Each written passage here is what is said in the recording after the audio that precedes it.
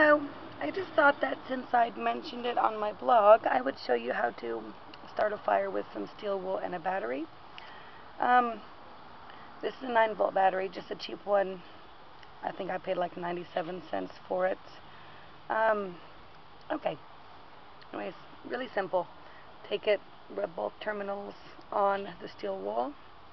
It'll start fairly quickly you should already have a kindling TP ready or something. I'm using some toilet paper because it's been raining.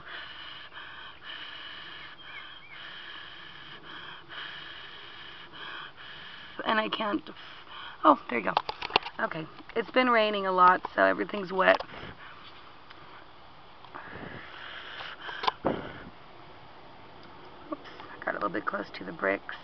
Um, okay, well, there you go.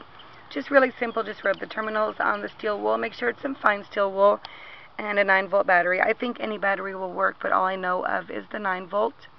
This is where you'd want to put your kindling on if you have it, or maybe make the TP beforehand. Don't breathe in that smoke. It stinks and it's probably not good for you.